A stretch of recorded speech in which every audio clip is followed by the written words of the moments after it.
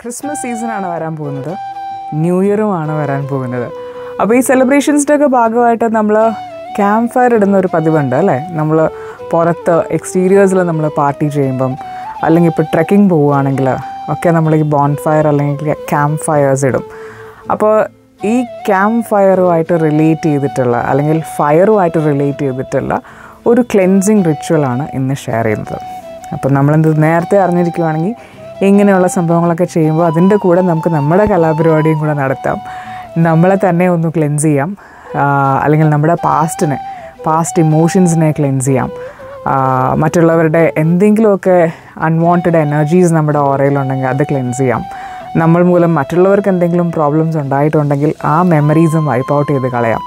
നമ്മുടെ ചുറ്റുമുള്ള സറൗണ്ടിങ്സിനെ നമ്മുടെ വീടിനെ നമ്മളുമായിട്ട് റിലേറ്റ് ചെയ്തവരെയൊക്കെ ഒന്ന് ക്ലെൻസ് ചെയ്ത് ഒന്ന് ഫ്രഷായിട്ട് അടുത്ത വർഷത്തിലേക്ക് എന്റർ ചെയ്യാൻ വേണ്ടിയിട്ടുള്ള ഒരു റിച്വലാണ് ഇന്ന് ഷെയർ ചെയ്തത് അപ്പോൾ ഈ ഒരു ക്ലെൻസിങ് പ്രോസസ്സ് അല്ലെങ്കിൽ ഫയർ റിച്വൽ നടത്തുന്നതിന് നമുക്ക് എന്തൊക്കെ കാര്യങ്ങളാണ് ആദ്യം വേണ്ടത് എന്നതിനെക്കുറിച്ച് പറയാം. നമ്മളിപ്പോൾ വേറൊരു സ്ഥലത്ത് പോയിട്ടാണ് ക്യാമ്പ് ഫയർ നടത്തുന്നുണ്ടെങ്കിൽ നമ്മുടെ കയ്യിൽ ഒരു കുഞ്ഞി ബാഗിൽ ഈ കാര്യങ്ങളൊക്കെ കരുതി കരുതിയാൽ മാത്രമേ നമുക്കത് ചെയ്യാൻ പറ്റുള്ളൂ. അല്ലെങ്കിൽ നമ്മുടെ വീടിന്റെ ഗാർഡനിൽ അല്ലെങ്കിൽ നമ്മളിപ്പോൾ തറവാട്ടിൽ പോയിട്ട് ആണ് സെലിബ്രേറ്റ് ചെയ്യണമെങ്കിൽ അങ്ങനെയുള്ള സ്ഥലങ്ങളിലൊക്കെ ഇങ്ങനെയുള്ള ഗാർഡൻ സ്പേസസും ഫ്രീ സ്പേസും ഒക്കെ ഉണ്ടാവുള്ളൂ. അപ്പോൾ നമ്മുടെ ഗാർഡന്റെ തന്നെ ഏതെങ്കിലും ഒരു മൂലയിൽ ഒരു കുഞ്ഞി പിറ്റെടുക്കുക ഒരു ചെറിയ കുഴി എടുക്കുക എന്നുള്ളതാണ് ആദ്യം ആവശ്യം. അതല്ല വലിയ ക്യാമ്പ് ഫയർ ആണ് ഇടുന്നതെന്നുണ്ടെങ്കിൽ അതിന് നോർമലി ആവശ്യമുള്ളൊരു പിറ്റ് ഓൾറെഡി ഉണ്ടാവും. ഇനി നമുക്ക് ആവശ്യമുള്ളത് ഒരു ഇൻഫിനിറ്റി സിമ്പിൾ വരയ്ക്കുക. ജസ്റ്റ് ഒരു പേപ്പറിൽ ഒരു എട്ട് ഒരു വലിയ എട്ട് വെറുതെ വരയ്ക്കുക. അതിനെ നമ്മൾ ഇൻഫിനിറ്റി സിമ്പിൾ എന്ന് പറയും. അപ്പോൾ ഈ ഇൻഫിനിറ്റി സിമ്പിൾ ആണ് ആദ്യം ആവശ്യമുള്ളൊരു കാര്യം.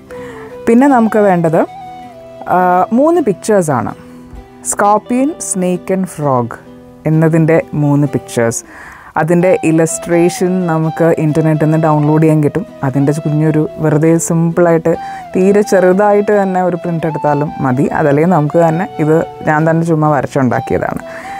ഇത് ആക്ച്വലി ടിബറ്റൻ ഒരു റിച്വലാണ് ടിബറ്റൻ ബുദ്ധിസ്റ്റ് റിച്വലാണ് ടാവോയിസവുമായിട്ട് ഇതിന് ബന്ധമുണ്ട്. അപ്പോൾ ഈ റിച്വലിൽ ഈ പറഞ്ഞ ഉള്ള സ്കോപ്പിയൻ സ്നേക്ക് ആൻഡ് ഫ്രോഗ് എന്നുള്ള സിംബലിസം അവരുദ്ദേശിക്കുന്നത് ഗോസിപ്സ് പൊളിറ്റിക്കിങ് അല്ലെങ്കിൽ സ്ലാൻഡർ അല്ലെങ്കിൽ നെഗറ്റീവ് ആയിട്ടുള്ള മറ്റുള്ളവരുടെ എനർജിയുടെ ഇൻഫ്ലുവൻസ് അതൊക്കെയാണ് ഈ സിമ്പിൾസ് കൊണ്ട് ഉദ്ദേശിക്കുന്നത്. അപ്പോൾ ഇതൊക്കെ ഡിസ്കാർഡ് ചെയ്യുന്നതിന്റെ ഭാഗമായിട്ട് നമ്മൾ ഇതൊക്കെ ആ ഫയറിലേക്ക് ഇട്ട് കത്തിക്കാൻ വേണ്ടിയിട്ടാണ്. വേറെ വലിയ ചടങ്ങുകളൊന്നും ഇല്ല ഈ പിക്ചർ ഉപയോഗിച്ചിട്ട്. അപ്പോൾ ഇത് മറ്റുള്ളവർ കാണണമെന്നില്ല നമ്മുടെ കയ്യിൽ ഇത് കുഞ്ഞൊരു പ്രിന്റായിട്ട് നമ്മൾ കൈ വയ്ക്കുന്നു എന്നുള്ളതേ ഉള്ളൂ. ഇത് റെപ്രസെന്റേറ്റ് ചെയ്യുന്നത് ഈ കാര്യങ്ങളെയാണ് എന്നുള്ളതാണ്. മറ്റുള്ളവർ നിന്ന് നമുക്ക് നമ്മുടെ ഓറയിൽ കയറിയിട്ടുള്ള എന്തെങ്കിലുമൊക്കെ നെഗറ്റിവിറ്റി ഉണ്ടെങ്കിൽ അതിനെ ഡിസ്കാർഡ് ചെയ്യുന്നതിന്റെ ഒരു സിംപ്ലിസമായിട്ടാണ് ഈ പിക്ചേഴ്സ് നമ്മൾ കയ്യിൽ വെക്കുന്നത്. ഇനി അടുത്തതായിട്ട് നമുക്ക് ആവശ്യമുള്ളത് ഒരു ലിസ്റ്റാണ് നമുക്ക് ഈ കഴിഞ്ഞ ഒരു പാസ്റ്റ് വൺ ഇയറിൽ ഉണ്ടായിട്ടുള്ള ബാഡ് ആയിട്ടുള്ള ഇൻസിഡൻസ് എന്തെങ്കിലും നെഗറ്റീവായിട്ടുള്ള ഇൻസിഡൻസ് ഉണ്ടായിട്ടുണ്ടെങ്കിൽ അത് ഒന്ന് വെറുതെ മെൻഷൻ ചെയ്യുക ഇന്ന ഇൻസിഡന്റ് അല്ലെങ്കിൽ എന്തെങ്കിലും ബാഡ് ഹാബിറ്റ്സ് എനിക്കത് അവോയ്ഡ് ചെയ്യണം എന്ന് ഞാൻ ആഗ്രഹിക്കുന്ന എന്തെങ്കിലും ബാഡ് ഹാബിറ്റ്സ് ഉണ്ടെങ്കിൽ അത് ഒന്ന് മെൻഷൻ ചെയ്യാം. ഇപ്പോൾ ജെൻസ് ആണെങ്കിൽ സ്മോക്കിംഗ് അത് ഡിസ്കാർഡ് ചെയ്യണമെന്നുണ്ടെങ്കിൽ അങ്ങനെ അല്ലെങ്കിൽ ഡ്രിങ്കിങ് അല്ലെങ്കിൽ ഇപ്പം ഫീമെയിൽസിന് ജനറലി അമ്മമാർക്കൊക്കെ ഉണ്ടാകുന്നതാണ് പെട്ടെന്ന് ദേഷ്യം വരുന്ന ഒരു സ്വഭാവം. അല്ലെങ്കിൽ കുട്ടികളുടെ അടുത്ത് പെട്ടെന്ന് ദേഷ്യപ്പെടുന്നു എന്നുള്ളതാകാം. അല്ലെങ്കിൽ ഇപ്പം നമ്മുടെ തന്നെ റിലേറ്റീവ്സോ അല്ലെങ്കിൽ അടുത്ത ഫാമിലി സർക്കിളിൽ പെട്ട ആരെങ്കിലും മരിച്ചു. അതുമായിട്ട് റിലേറ്റ് ചെയ്തിട്ടുള്ള ഒരു അൺപ്ലസന്റ് ആയിട്ടുള്ള വറിയിങ് ആയിട്ടുള്ള മെമ്മറീസ് അതായിരിക്കാം. അപ്പോൾ അത് അത് ജസ്റ്റ് അതൊരു ഒരു വേർഡിൽ രണ്ട് വേർഡിൽ അതൊന്ന് മെൻഷൻ ചെയ്താൽ മതി ഇന്ന കാര്യം. അല്ലെങ്കിൽ എനിക്ക് എന്റെ ലൈഫിൽ റിപ്പീറ്റ് ചെയ്യണമെന്ന് ഞാൻ ആഗ്രഹിക്കാത്ത എന്തെങ്കിലും ഒരു ഇൻസിഡന്റ് ഉണ്ടെങ്കിൽ അത് ബാഡ് മെമ്മറീസ് എനിത്തിങ് അപ്പോൾ നമ്മൾ ലെറ്റ് ഗോ ചെയ്യാൻ ആഗ്രഹിക്കുന്ന നമ്മൾ നമ്മുടെ ഒരു ക്യാരക്ടറിൽ നമ്മൾ അവോയ്ഡ് ചെയ്യാൻ ആഗ്രഹിക്കുന്ന കാര്യങ്ങൾ അതൊക്കെയാണ് നമ്മൾ ഈ ലിസ്റ്റിൽ എഴുതേണ്ടത്. ചിലപ്പോൾ അത് ലേസിനെസ് ആവാം അല്ലെങ്കിൽ പ്രോക്കാസ്റ്റിനേഷൻ നമ്മൾ എല്ലാം നീട്ടി വെക്കുന്നു. ഇന്ന് ചെയ്യേണ്ട കാര്യം ചിലപ്പോൾ ഒരാഴ്ച കഴിഞ്ഞിട്ടായിരിക്കും ചിലപ്പോൾ നമ്മൾ ചെയ്യുന്നത്. അങ്ങനെയൊക്കെ ഉള്ളതാണെങ്കിൽ ആ ഒരു ഹാബിറ്റ് അതാണ് ഇതിനകത്ത് എഴുതേണ്ടത്. അപ്പം നമ്മളത് ഫയറിലേക്ക് ഇടാൻ വേണ്ടിയിട്ടാണ് നമ്മൾ ഈ ലിസ്റ്റ് ഉണ്ടാക്കുന്നത്.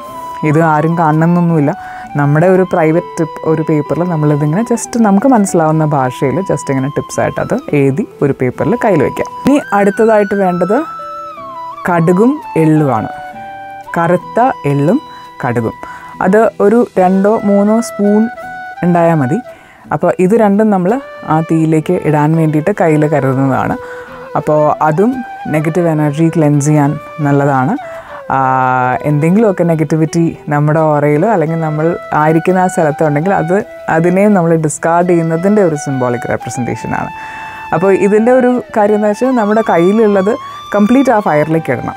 അപ്പോൾ കുറച്ചെടുത്താൽ മതി. കുറേ എടുത്തുകൊണ്ട് വന്നിട്ട് കുറച്ചിട്ടിട്ട് ബാക്കി തിരിച്ചു കൊണ്ടുവരരുത് എന്നുള്ളതാണ്. അപ്പോൾ എന്തോ കയ്യിലെടുത്തിട്ടുണ്ടോ എന്തോരം എടുത്തിട്ടുണ്ടോ അത് ഫുൾ നമ്മൾ ആ ഫയറിലേക്ക് ഇട്ട് അത് ടോട്ടലി ഡിസ്കാർഡ് ചെയ്യണം എന്നുള്ളതാണ്. ഇത്രയും സാധനങ്ങൾ നമ്മുടെ കയ്യിൽ സ്റ്റോക്കായി. ഇനി നമ്മൾ ചെയ്യേണ്ടത് നമ്മുടെ വീട്ടിൽ തന്നെയാണ് ചെയ്യണമെന്നുണ്ടെങ്കിൽ നമ്മൾ ഗാർഡനിൽ ഏതെങ്കിലും ഒരു ഏരിയയിൽ പോയിട്ട് കുഞ്ഞൊരു കുഴി കുഴിക്കുക. ഫ്ലാറ്റിലുള്ളവർക്കാണിത് പ്രശ്നം. ഫ്ലാറ്റിലുള്ളവർ നിങ്ങൾ ക്യാമ്പിംഗ് പോകുമ്പോഴോ അല്ലെങ്കിൽ തറവാട് വീടുകളിലേക്ക് വെക്കേഷന് പോകുമ്പോഴൊക്കെ നിങ്ങൾക്കിത് ചെയ്യാൻ പറ്റുള്ളൂ. കാരണം ഭൂമി റിലേറ്റ് ചെയ്തിട്ടുള്ള ഒരു റിച്വലാണ് ഏർത്തിനെ നമ്മളത് ഡിഗ് ചെയ്യണം. ആ മണ്ണ് അത് കഴിയുമ്പോൾ തിരിച്ച് അതിലേക്കിട്ട് അടയ്ക്കണം ലൈക്ക് ആ പിറ്റ് ക്ലോസ് ചെയ്യണം. അപ്പോൾ റിയലി യു നീഡ് ഏർത്ത് ഇത് ചെയ്യാൻ വേണ്ടിയിട്ട് ഏർത്തിന്റെ ഒരു പ്രസൻസ് ആവശ്യമുണ്ട്. അപ്പോൾ ഇങ്ങനെ യാത്രകൾ പോകുമ്പോൾ അല്ലെങ്കിൽ ഒരു ക്യാമ്പ് ഫയർ റിച്വലൊക്കെ ചെയ്യുമ്പം അതിന്റെ ഭാഗമായിട്ട് യു ക്യാൻ ഇൻകോപ്പറേറ്റ് ദിസ് എന്നുള്ളതാണ്. ഫ്ലാറ്റിൽ താമസിക്കുന്നവർക്ക് ചെയ്യാൻ പറ്റുന്ന കാര്യം. അപ്പോൾ ഇതിപ്പോൾ ആദ്യം നമ്മൾ ഡിഗ് ചെയ്തു.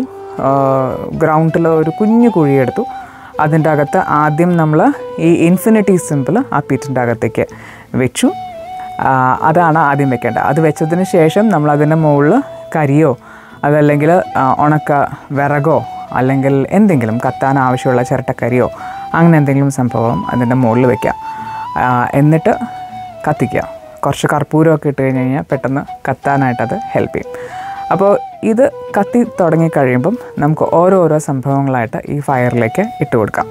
അപ്പോൾ ആദ്യം തന്നെ നമ്മൾ ഇടേണ്ടത് ആ മൂന്ന് ഇമേജസ് സ്കോർപ്പിയൻ ഫ്രോഗ് ആൻഡ് സ്നേക്കിന്റെ കുഞ്ഞ് ഇമേജസ് നമ്മൾ ആ ഫയറിലേക്ക് ഇടുക.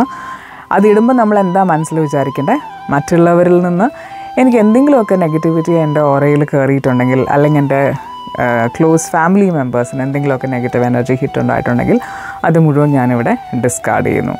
എന്നുള്ളത് മനസ്സിൽ കരുതിയിട്ടാണ് ആ പിക്ചേഴ്സ് നമ്മൾ അതിന്റെ അകത്തേക്ക് ഇടുക.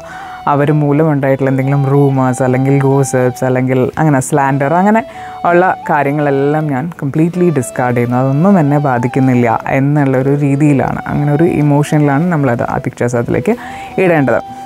ഇനി അതിനുശേഷം നമ്മൾ അടുത്തതായിട്ട് ഇടേണ്ടത് നമ്മൾ എഴുതി വെച്ചിട്ടുള്ള ആ പേപ്പറാണ് നമുക്ക് ആവശ്യമില്ലാത്ത കാര്യങ്ങൾ നമ്മുടെ ലൈഫിൽ നമ്മൾ റിപ്പീറ്റ് ചെയ്യണമെന്ന് ആഗ്രഹിക്കാത്ത കാര്യങ്ങൾ അല്ലെങ്കിൽ നമ്മൾ അവോയ്ഡ് ചെയ്യണമെന്ന് നമ്മൾ ആഗ്രഹിക്കുന്ന ചില ഹാബിറ്റ്സ് അതൊക്കെ നമ്മൾ എഴുതി വെച്ചിട്ടുള്ള ആ പേപ്പറും നമ്മൾ ഫയറിലേക്ക് ഇടുക.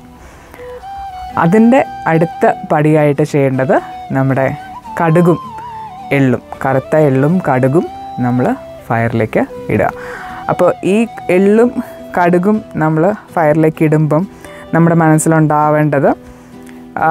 നമ്മൾ കാരണം മറ്റുള്ളവർക്കുണ്ടായിട്ടുള്ള എന്തെങ്കിലും ബുദ്ധിമുട്ടുകൾ ഇപ്പം നമ്മൾ പെട്ടെന്ന് ദേഷ്യപ്പെട്ട് അല്ലെങ്കിൽ അങ്ങനെ ഇപ്പോൾ ഓഫീസിലാകാം അല്ലെങ്കിൽ എവിടെയെങ്കിലും നമ്മൾ പെട്ടെന്ന് നമ്മുടെ ടെമ്പർ തെറ്റി അല്ലെങ്കിൽ നമ്മുടെ കയ്യിൽ നിന്ന് പോയ ഒരു സിറ്റുവേഷൻ കാരണം മറ്റുള്ളവർക്ക് എന്തെങ്കിലും ഒരു വിഷമം ഉണ്ടായിട്ടുണ്ടെങ്കിൽ അതിനെ ഞാൻ ഈ സമയത്ത് അതിനെ ഞാൻ ക്ലെൻസ് ചെയ്ത് ലെറ്റ് ഗോ ചെയ്യുന്നു.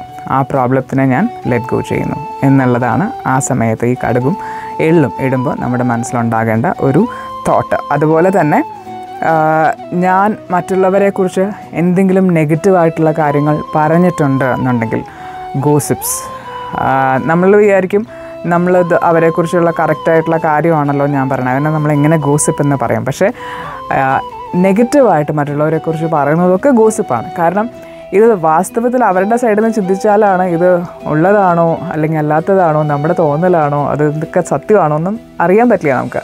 അപ്പോൾ കഴിയുന്നതും ഇങ്ങനെയുള്ള കാര്യങ്ങൾ പറയാണ്ടിരിക്കാൻ ആണ് നമ്മൾ ശ്രമിക്കേണ്ടത്. ഇനി അബദ്ധത്തിൽ നമ്മുടെ മൈൻഡിൽ അല്ലെങ്കിൽ മറ്റുള്ളവരെക്കുറിച്ച് എന്തെങ്കിലുമൊക്കെ നെഗറ്റീവ് തോട്ട്സ് വന്നിട്ടുണ്ടെങ്കിൽ അല്ലെങ്കിൽ നമ്മൾ അങ്ങനെ എന്തെങ്കിലും പറഞ്ഞിട്ടുണ്ടെങ്കിൽ അതിനെ ഓവർകം ചെയ്യാനും ആ എനർജീനെ ഞാൻ ബാക്ക് തിരിച്ചെടുക്കുകയാണ്.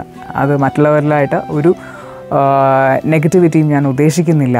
ഞാൻ കാരണം അവർക്കൊരു വിഷമവും ഞാൻ ഉദ്ദേശിക്കുന്നില്ല എന്നുള്ളത് പറഞ്ഞ് അവരോട് ജസ്റ്റ് ഒരു മനസ്സിൽ സോറി പറഞ്ഞ് നമ്മൾ ആ എനർജീനെ ഡിസിപ്പേറ്റ് ചെയ്തതിന്റെ ഭാഗമായിട്ടാണ് കടുകും എള്ളും നമ്മൾ ഈ ഫയറിലേക്ക് ഇടുന്നത്. ഇനി നമ്മൾ ഈ കടുകും എള്ളും ഇടുമ്പം നമ്മൾ മാത്രമല്ല നമ്മുടെ ചുറ്റുമുള്ളവർ നമ്മുടെ ഫാമിലി മെമ്പേഴ്സ് നമ്മൾ താമസിക്കുന്ന വീട് അല്ലെങ്കിൽ നമ്മളുമായിട്ട് ബന്ധപ്പെട്ട എല്ലാ സ്ഥാപനങ്ങളും ക്ലെൻസ് ആകുന്നതായിട്ടും ആ എനർജി പ്യൂരിഫൈഡ് ആകുന്നതായിട്ടും സങ്കല്പിച്ചുകൊണ്ടും അങ്ങനെ ഒരു റിക്വസ്റ്റ് നമ്മൾ യൂണിവേഴ്സിന് സെൻഡ് ചെയ്തുകൊണ്ടുമാണ് നമ്മൾ ഈ റിച്വൽ ചെയ്യേണ്ടത്. ഇപ്പോൾ ഈ ബ്ലാക്ക് സീഡ്സ് ഇടുമ്പോഴും നമ്മൾ ഇത് തന്നെയാണ് മനസ്സിൽ കരുതേണ്ടത്. അപ്പോൾ നമ്മുടെ ഉള്ളിൽ നിന്നുള്ള ആ ഒരു ഡിവൈൻ എനർജി അത് എക്സ്പാൻഡ് ചെയ്തിട്ട് സർവപ്രപഞ്ചത്തിൽ എല്ലാത്തിലേക്കും അല്ലെങ്കിൽ ആദ്യം നമ്മളുടെ ഉള്ളിൽ അത് ഫില്ലായി പുറത്തേക്ക് വ്യാപിക്കുന്നു.